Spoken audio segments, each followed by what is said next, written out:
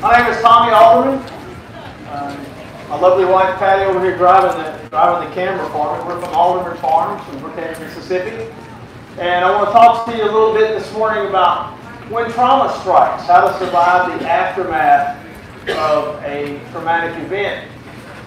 Um, some of you may or may not know of us. We, are on YouTube and Facebook and Instagram and Twitter and Pinterest, although we don't we don't pin much stuff. But um, in my former life, I spent almost 20 years in law enforcement.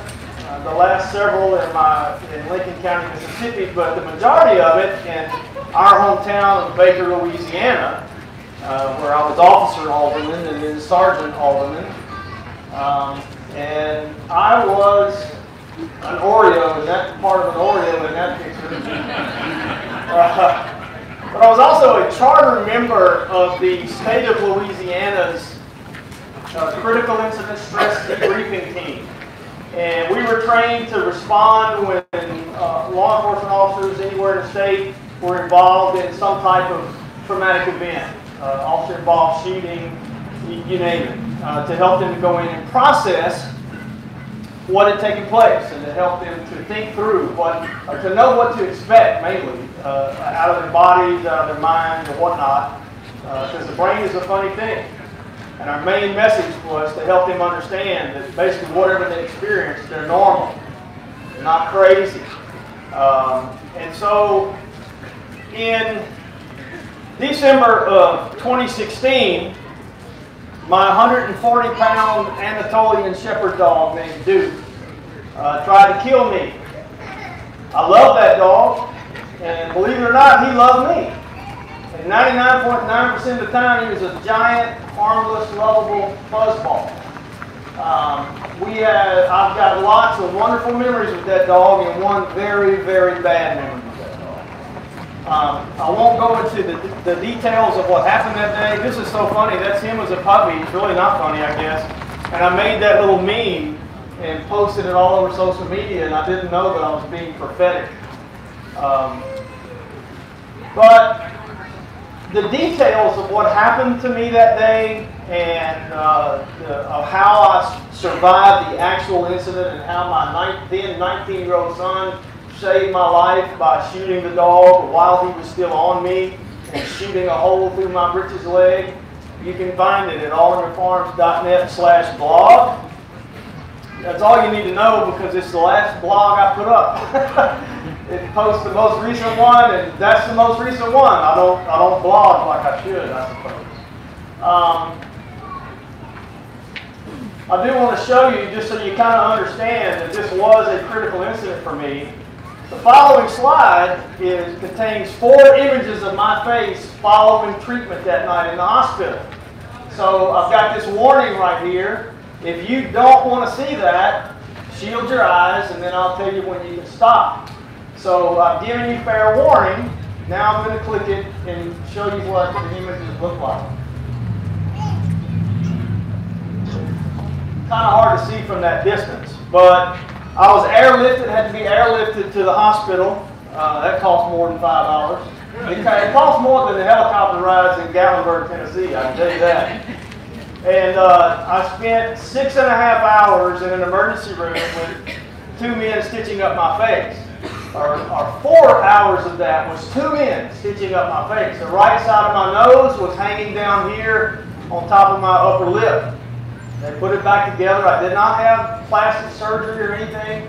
I was hoping that they, I was hoping that I would come out of it looking like Tom Selleck, but it didn't. You know, I didn't even get Bruce Willis out of it. You know, but uh, I survived. I have no complaints. The right side of my upper lip is still mostly dead for you Princess Bride fans.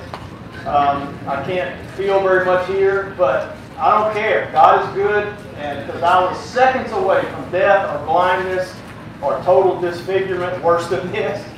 And uh, so I'm, I'm a very blessed man. Lord, for you having to sit through that slide, I present this. Um, it was a bad deal. And immediately, the principles that I had learned in critical incident debriefing helped my family and I. I didn't suffer any traumatic events in law, during my law enforcement career. Uh, so I didn't really need to apply the principles, but boy, did they come in handy uh, following this event. And it, and it dawned on me, oh, there's a picture of the, the bullet hole in my pants leg. It went through, uh, I guess my pants were folded. We actually found the bullet still had denim fibers in it. We found all three rounds, and that one had denim fibers in it. But it dawned on me that there was a plethora of, I just love the word plethora, and I, I use it every chance I get. But there's a plethora of information out there available for law enforcement and military uh, that's very familiar with these principles. Um, but nobody ever talks to the average citizen about these things. The other thing dawned on me is that trauma can happen to anybody, anywhere, at any time. And so we're going to talk through a couple of definitions here, and then I'm going to teach you what to expect should you be involved in trauma. If any of you have ever suffered a traumatic event in your life, this is going to help you. Last year at this conference, I made this presentation, and about an hour after we were through, a young mother came up to me with tears in her eyes and wanted to talk to me and I, I, won't, I don't have permission to share what happened to her so many years ago. She lost her husband, but I don't have permission to tell you all the details. But I want to tell you the bottom line is this happened years ago, and she overheard somebody. They weren't trying to be mean, but they overheard. She overheard somebody saying, "You know, she's not really reacting like I would expect a young woman to react. She just lost her husband." And for years, she carried the burden that there was something wrong with her, that she was not the wife that she should have been, until she heard some gray-haired, loudmouth dude from Mississippi come up here and say, you're normal. And she just wept, and she was set free from just the simple information that you're going to hear today. So my prayer is somebody that I hope nobody's carrying a burden, but if you are, I, I hope that today's the day that you get to lay it down and realize there's nothing wrong. So first, let's, let's look at the, the difference between cumulative stress and what I call, we call critical incident stress. Cumulative stress is stress that builds up or accumulates over time. The stress of everyday life. It can be work-related, relationship issues, frustrating situations, made worse by lack of exercise, poor eating habits, poor sleep habits, major life changes, new job, moving, it's important to note here that not all those things on there are bad things. You could get a job promotion, a great new job, a great new house, but it, it does contribute stress to your life. So it doesn't have to be negative. Hand, uh, tips for handling that type of stress is regular exercise, regular honest communication with your spouse, your parents, your peers, healthy eating, plenty of water, healthy amounts of sleep and rest. So what is a critical incident? Also in more recent days referred to as a high stress event. Very important definition here. Critical incident can be defined as any event that has a stressful impact sufficient enough to overwhelm the usually effective coping skills of an individual or group. Critical incidents are abrupt, powerful events that fall outside the range of ordinary human experiences. These events can have a strong emotional impact even on the most experienced among us. Looks like part of the bottom of the slide is cut off, but I see some of you taking pictures of the screen. Feel free to do that. I'm going to give you a link at the end where you can go get a free PDF from our website that has all of this important information in it. Um,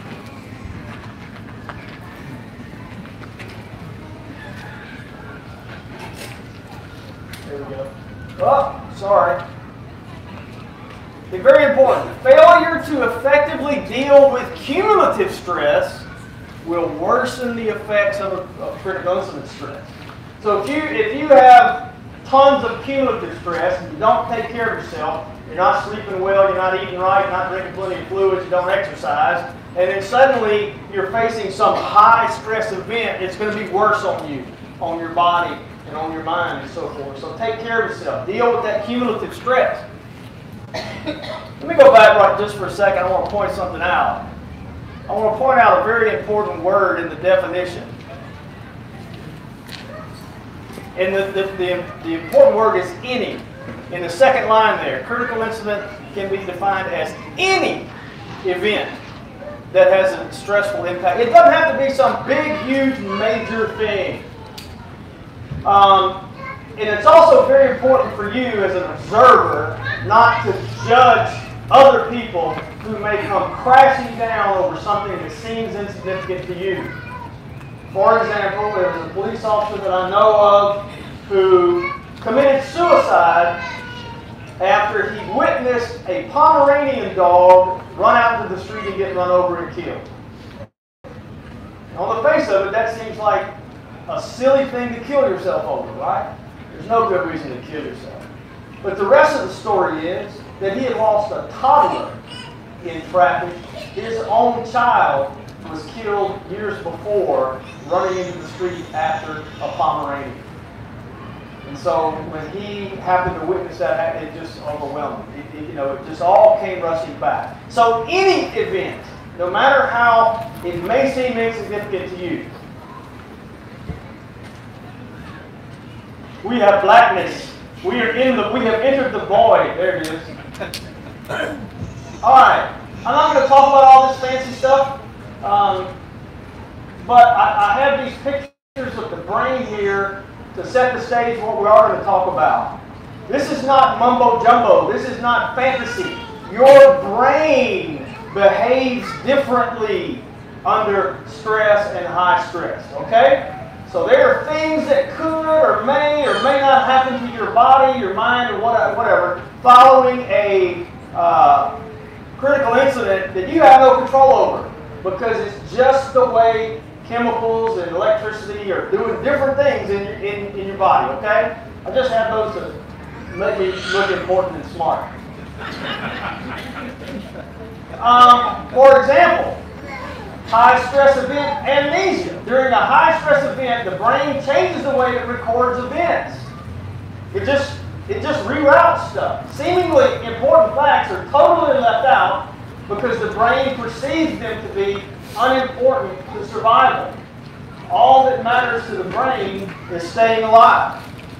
That's involuntary. Um, it just it just happens. Here's another thing that just happens or can happen: confabulation, a disturbance of memory, defined as the production of fabricated, distorted, or misinterpreted memories about oneself or the world without conscious intention to deceive. Accounts given immediately following a critical incident might very well differ from accounts that are given after some time has passed. And that doesn't mean that people are necessarily trying to be deceptive. Now, now I'm going to pause here to give you a public service announcement on behalf of my law enforcement brethren. Um, never believe initial reports that you see on the news that come out within the first 10 or 12 or 24 hours of something bad happening. They are notoriously unreliable. Not because necessarily, I'm not trying to say nobody ever lies, but not necessarily because somebody's intentionally trying to be deceptive. It's more than likely due to the involuntary confabulation that takes place in the brain. There was an officer involved in a shootout in a pharmacy. Um, and the officer had, it was a protracted thing. They didn't know where the guy was and, and he made his way. Y'all know what a, an old time pharmacy looked like, where where where the pharmacy was kind of elevated, and they've got like the, the a desk running the or whatever the bar, and it's solid, and they and they walk behind that, and then there's glass behind them where they keep all the good stuff, right?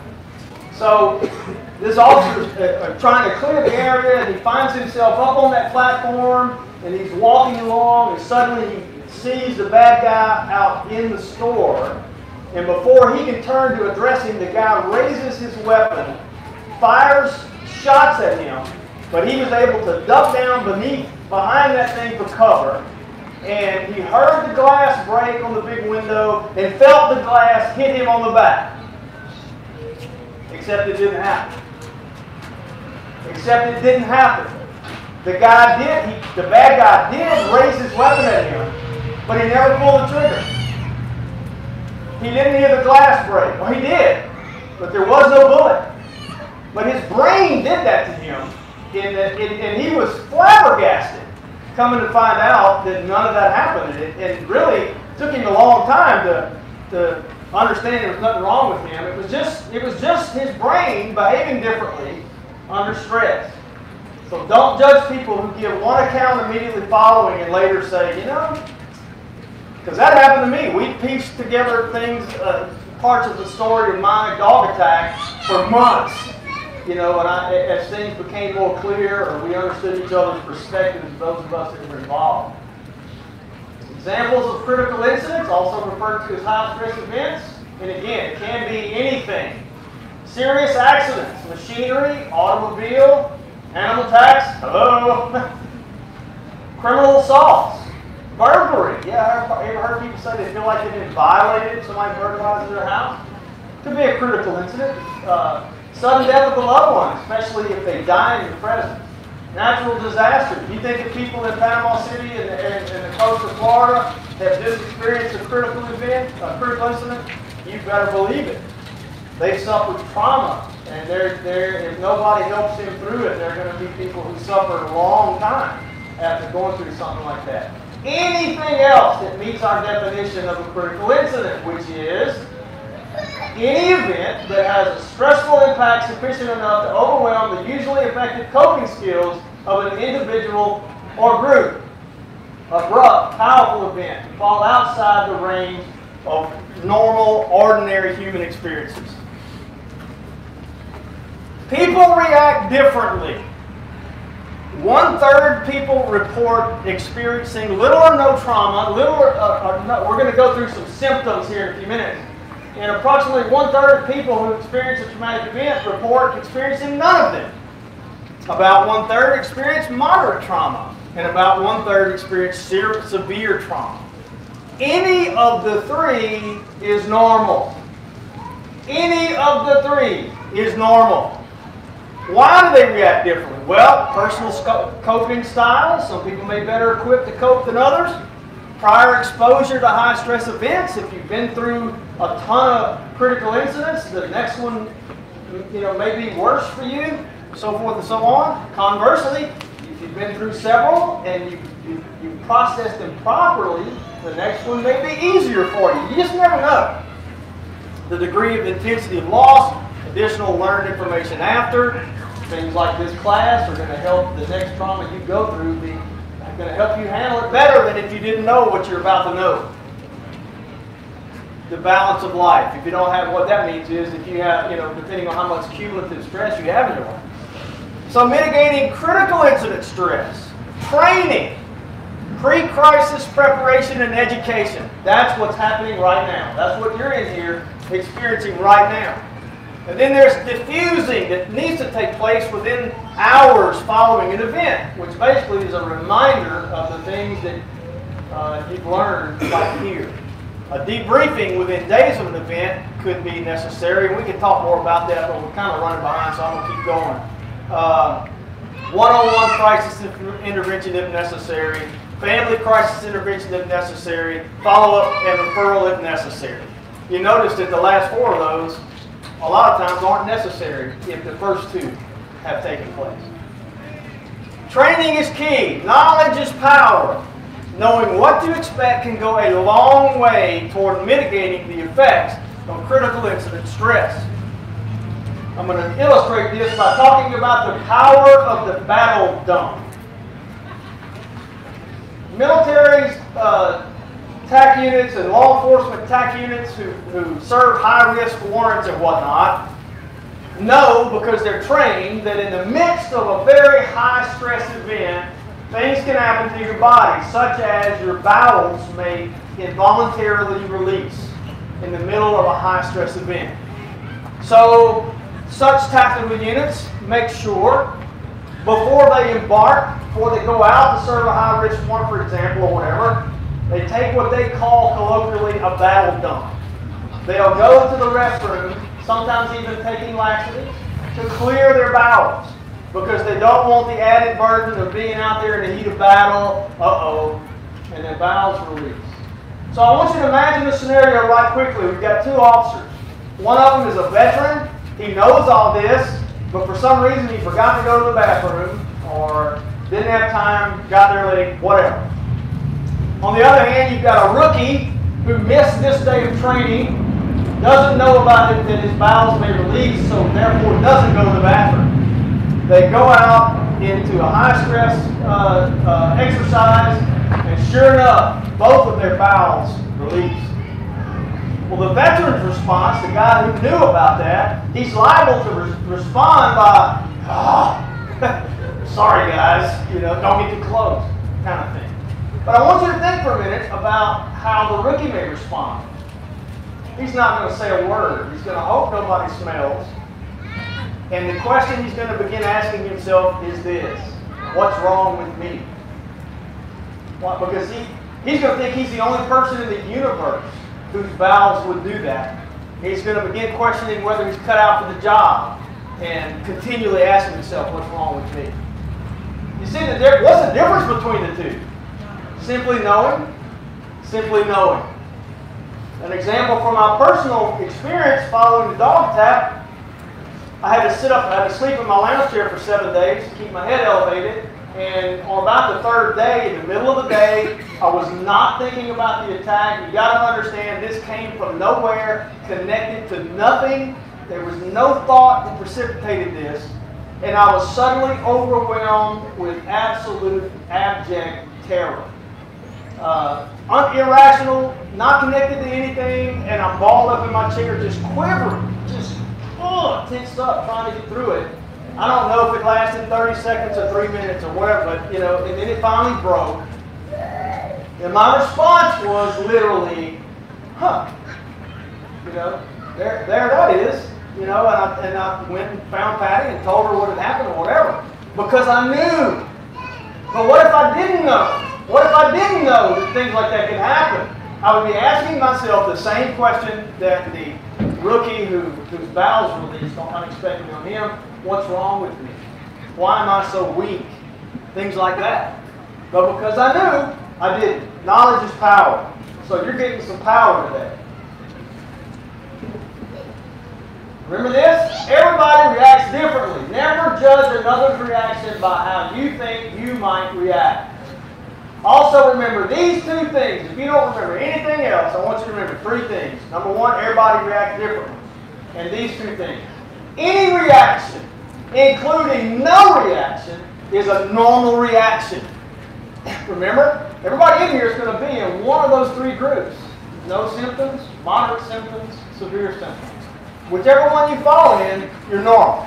Any reaction, including no reaction, is a normal reaction. And also, you are a normal person having a normal reaction to an abnormal event. It's the event that's abnormal, not you. Common reactions to critical incident stress. I'm sorry this is so small, but again, you're going to get a website at the end. You can go get the PDF that lists all this. Um, I, am not, so I don't have time to really go over every one of them. I'll just the ones that I've got bolded on the screen are the ones that I experienced following the dog attack. I did have nightmares. I did have a difficult time concentrating. And I did have intrusive images. That dog's face with his mouth wide open would just be right. there. I mean, he'd driving down the road and do this, you know, because it just was like right there. Um, all perfectly normal. Not very pleasant, but normal. Emotional reactions fear, feeling of failure, second guessing yourself, survivor guilt.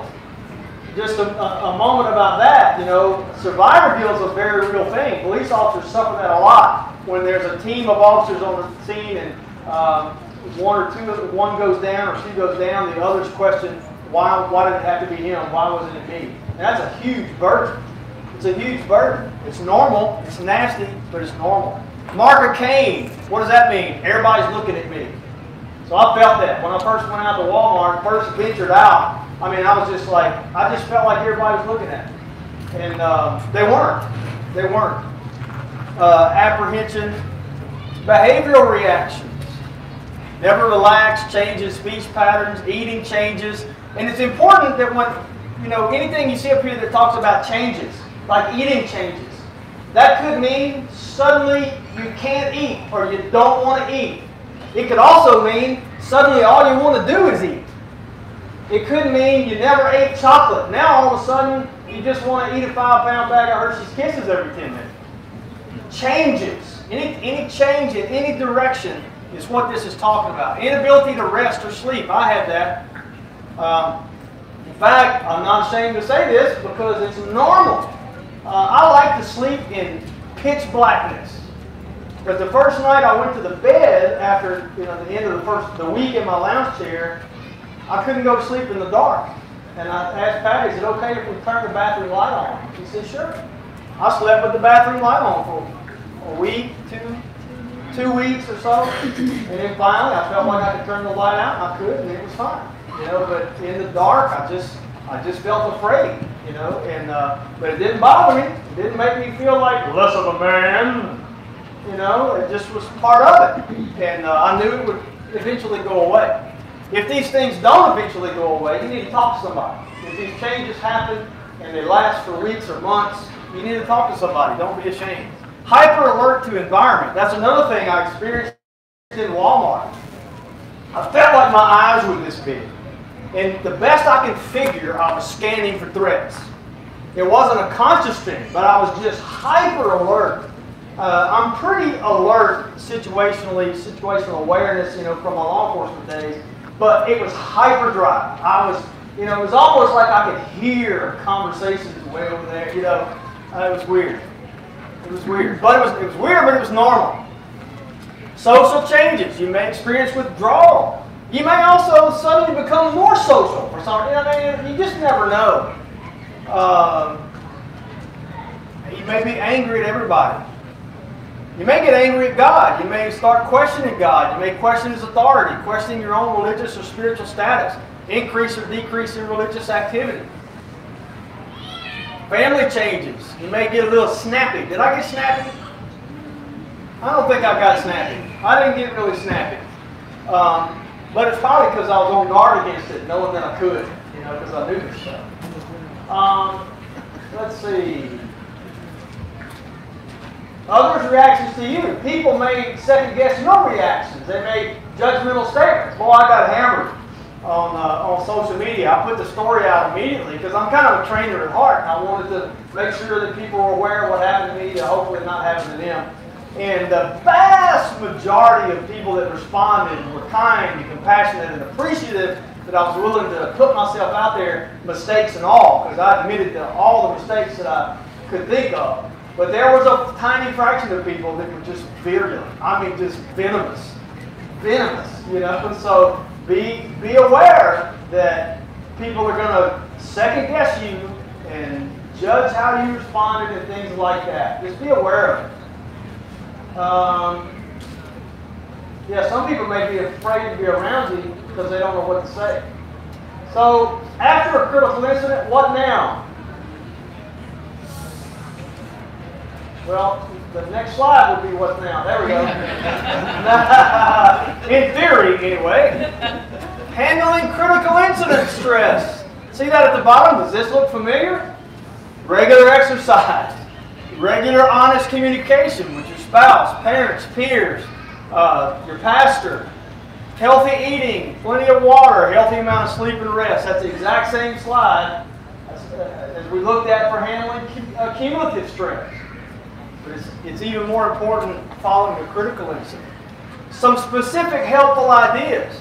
Strenuous exercise within 48 hours, if you're able. I was not allowed within 48 hours. He didn't want me doing that. But as soon as I could, we Patty had me out walking, you know. Even before that, she would tell me, get up and walk around the house, you know, because good things happen when you when you get your blood going. Structure time, structure your time.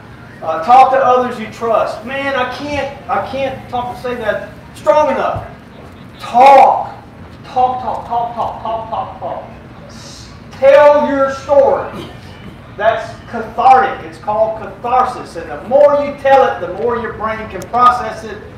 It will be different every time you tell it because pieces will fall into place. Um, your memory will be correcting itself. But talk. Don't zip it.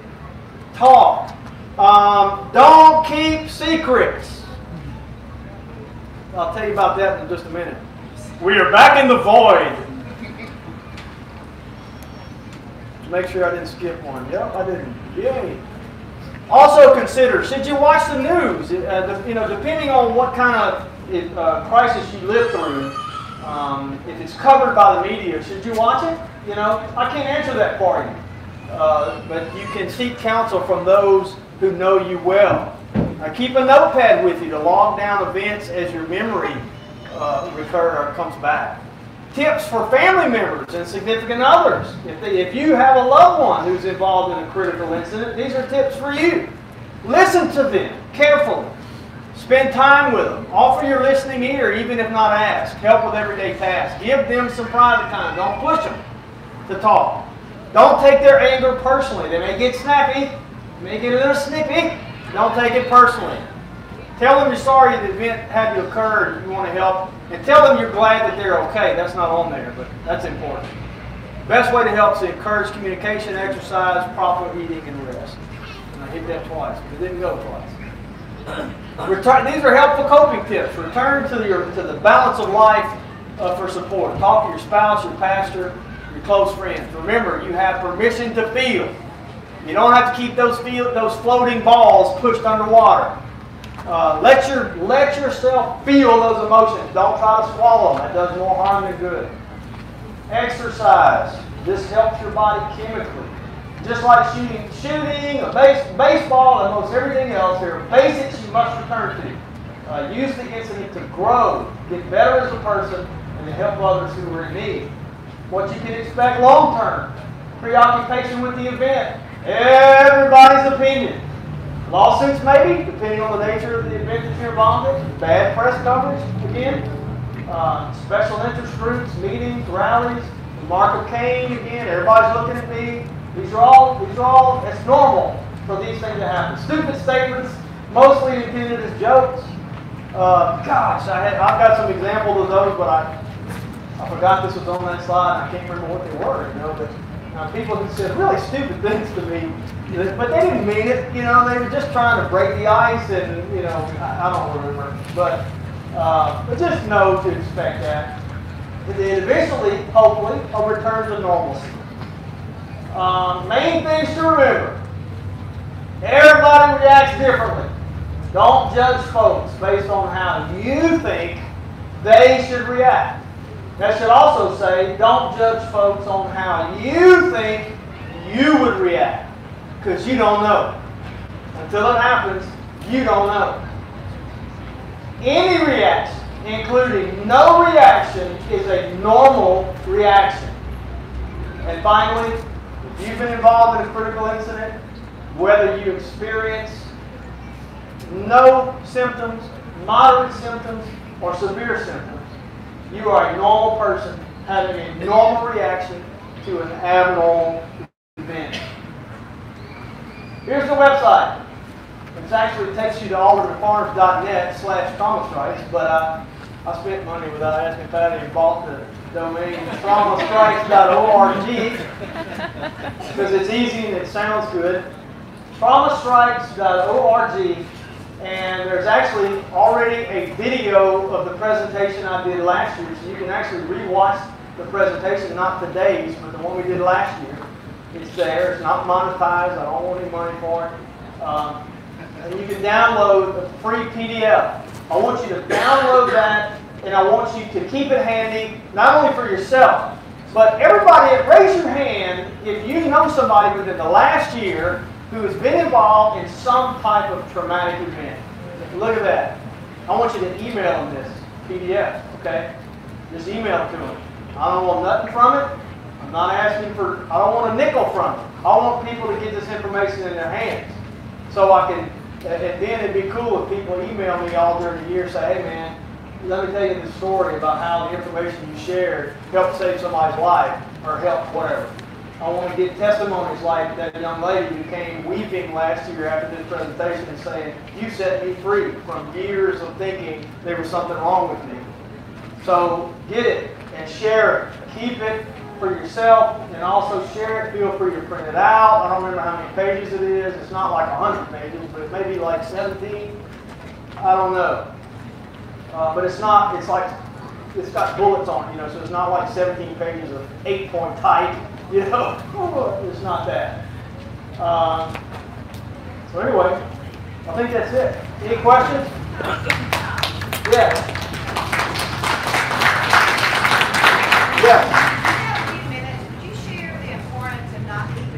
Yeah, and I meant to. Thank you. I meant to come back. Patty said I got a few minutes before my before it's up to share the importance of not keeping.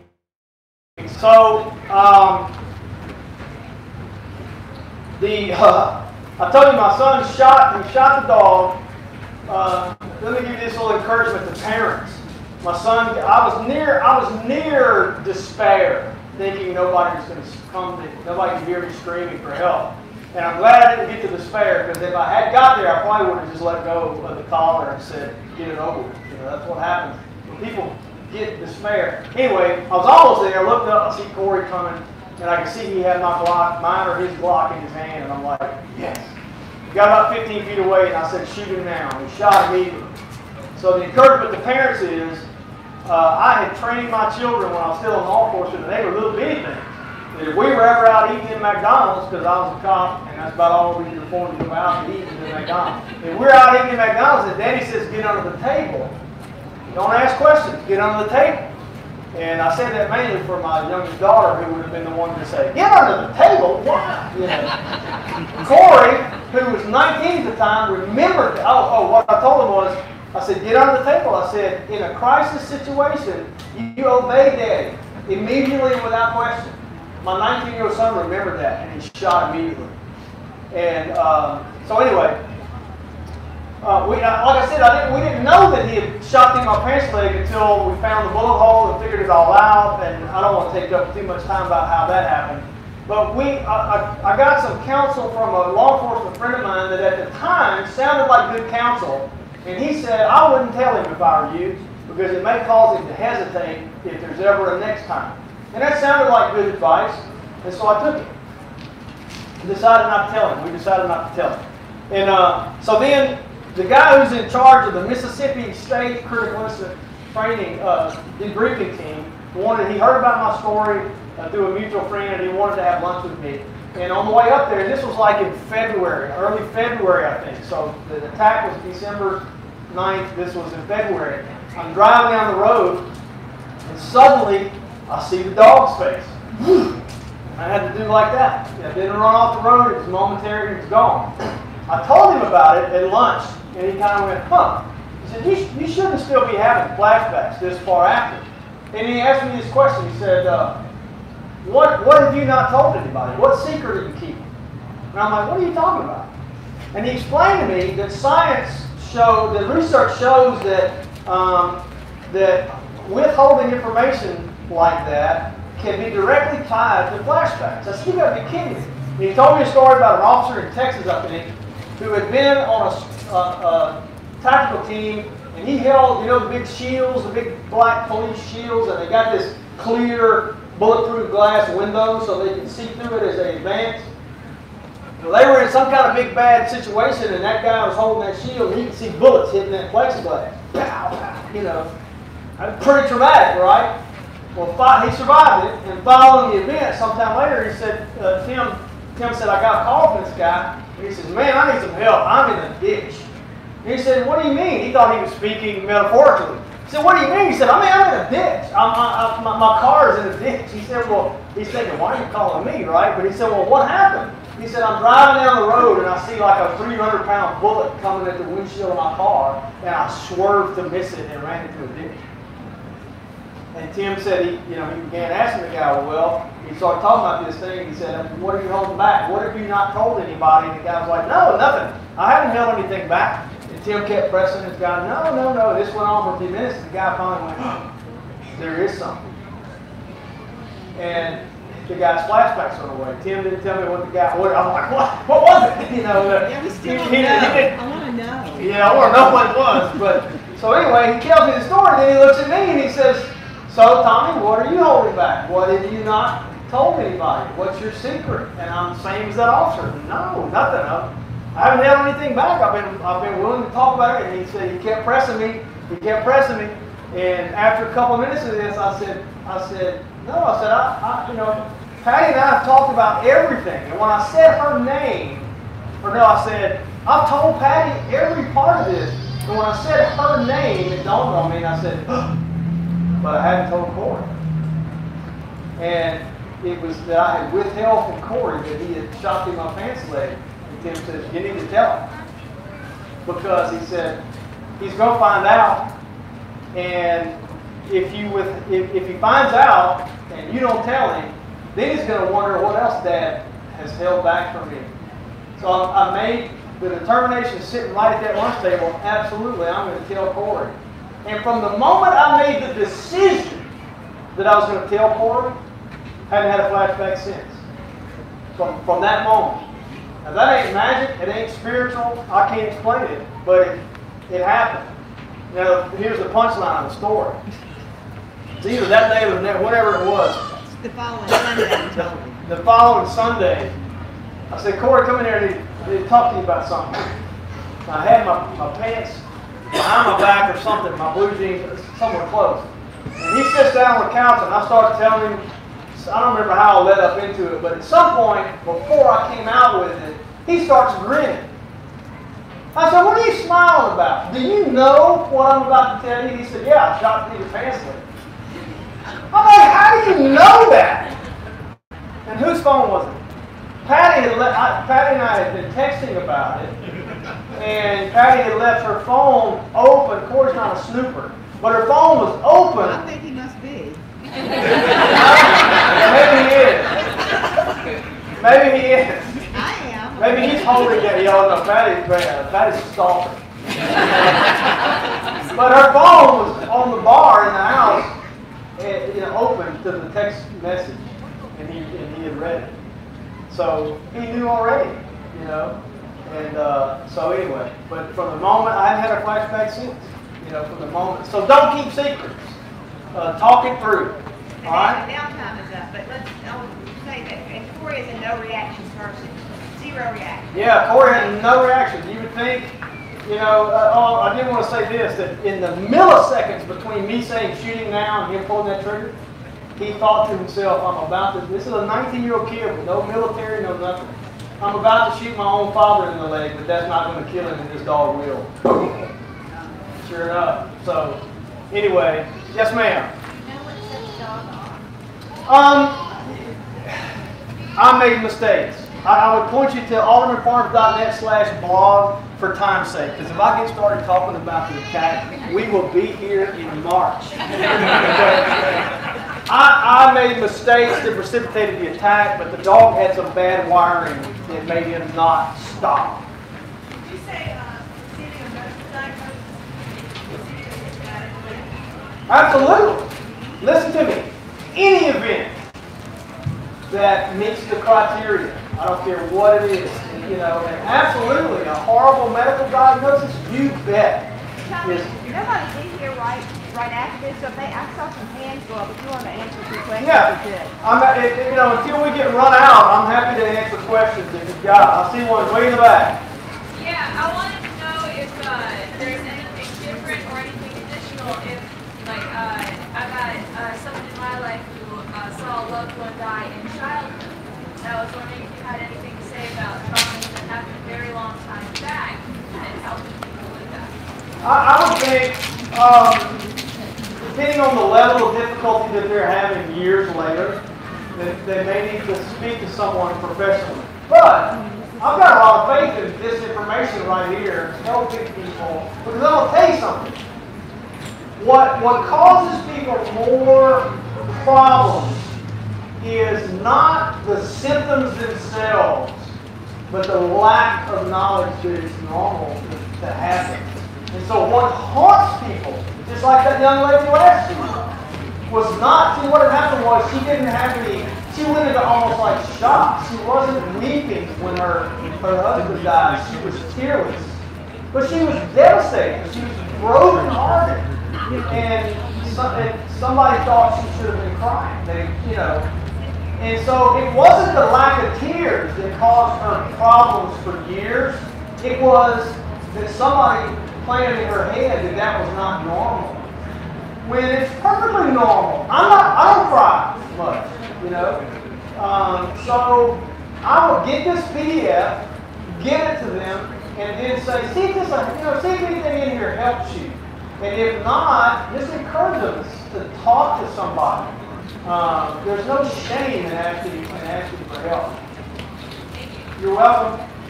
Any more questions? We got a few, like, what one or two things you do differently? Well, I, I encourage everybody to become dog behavior experts. Uh, what we know now, when we bought that, we got it at nine weeks Great old. presentation. And when we got him home from Tennessee, from hours away from my house, um, he, he was, was it over food, Patty? What was the, when he was nine weeks old, was that over food? It was because it was, that was too much before. Oh, he was wanting to chew up a cord and Patty busted him. And we didn't know. She rolled him over, you know, busted him, whatever. And he never stopped growling. Not viciously, but he never really, you know, he never, what I know now, we should have picked that little puppy up, got back in our car, drove for nine hours back to Tennessee and said, nope. Because that was the first sign at nine weeks old that he was the boss. And he kept it in check for most, you know, during the course of this year and a half, he flashed aggression a couple of times, three, maybe three or four times in a year and a half. Never bit, but he flashed aggression and then would apologize. You know what I mean by that? Doesn't? Listen to me, sir. Look me in my eyes. That dog needs to go. Because this is not a breed fashion. I think they're a fabulous breed, not when, not when they are present. They are designed, they are, God wired them to be very autonomous. And, and we're at a critical time in his age where he's becoming an adult. And if he is flash aggression at all, so look at him, he's got to go. I don't mean necessarily put him down, but my first option would be to find somebody, reach out to, uh, go to the uh, livestock guardian groups on Facebook and say, I'm looking for somebody who's interested in, uh, you know, the blues and all that. I mean, I, I believe it. I, and again, I, I'm pleased, I'm not bashing the breeds, they're amazing dogs, yeah. But they are not pets. And, yeah.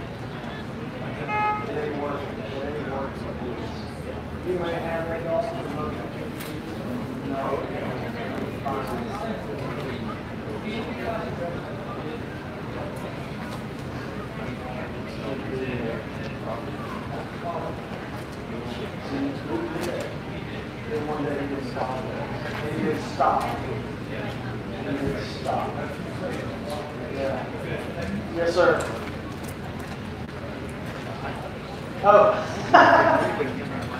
oh. Thank you. Thank you.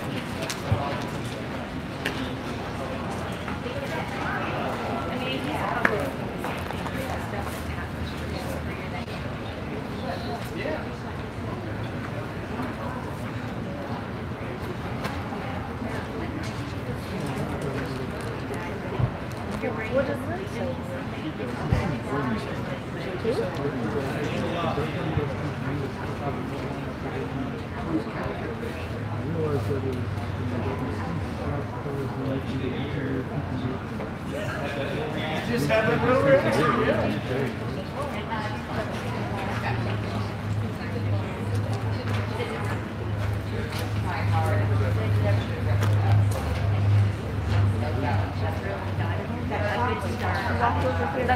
Probably have something for a lot by talking.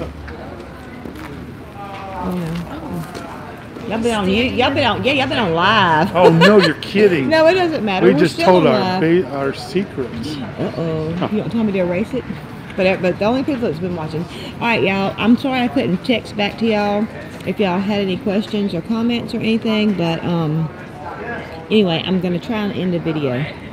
Do I just push X?